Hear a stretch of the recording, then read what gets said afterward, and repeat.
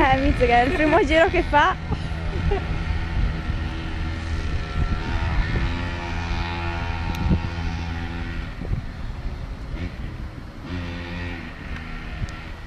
Andiamo già di là.